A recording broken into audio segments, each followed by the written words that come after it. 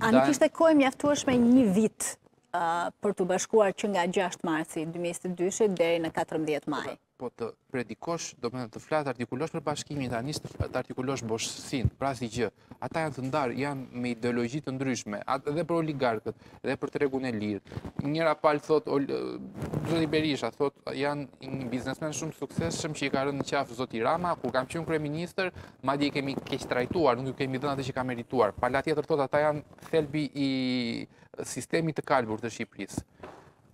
Për institucionet, për reformën në drejtësi, zoti Berisha thotë ditën e parë që do bëhem, nëse bëhem kryeministër do ta zhduk reformën, se reforma është Soros dhe ato vazhdon me metaforat e tij.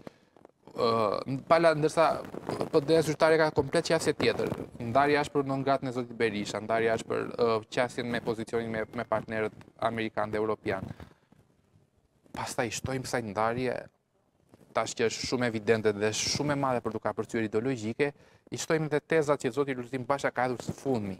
Cilat këto janë tezat që kanë ngjallur shumë reaksion negativ te deputetët dhe shumë reaksion pozitiv te demokratët.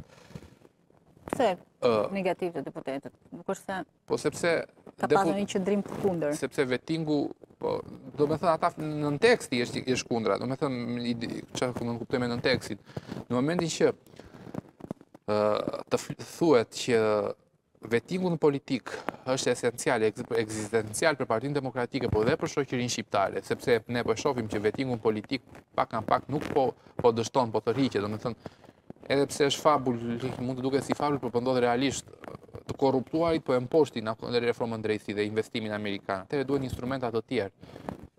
Duhet vetingu në politikë, duhet që çdo akuzë për çdo politikan të kalojë në një filtër pasurie, filtër akuzash, filtër lidhje me krimin ose lidhje me biznesmenë të korruptuar.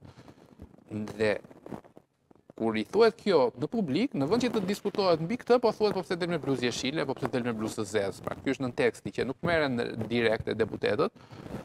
Ose qëndrime pastaj që unë do i thoja komplet jashtë çdo kufirit të seriozitetit.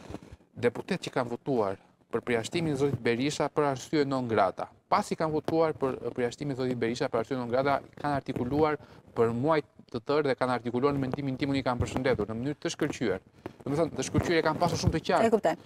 Që më ndjeni, që me Berishën ndajemi se na kanë larguar me 1 milion vota në 2013-ën, na kanë larguar sepse korrupsioni ka qenë prezent dhe ne e kemi parë me sytë tanë korrupsionin. Të njëjtët deputetë sot ja çdo Kufiri të seriozitetit, thojnë nuk është zgjidhja të, të ndajmi me Berishën, por duhet të bashkohemi me ato që ne kemi quajtur të korruptuar dhe që e kemi quajtur që e ka merituar non gratën.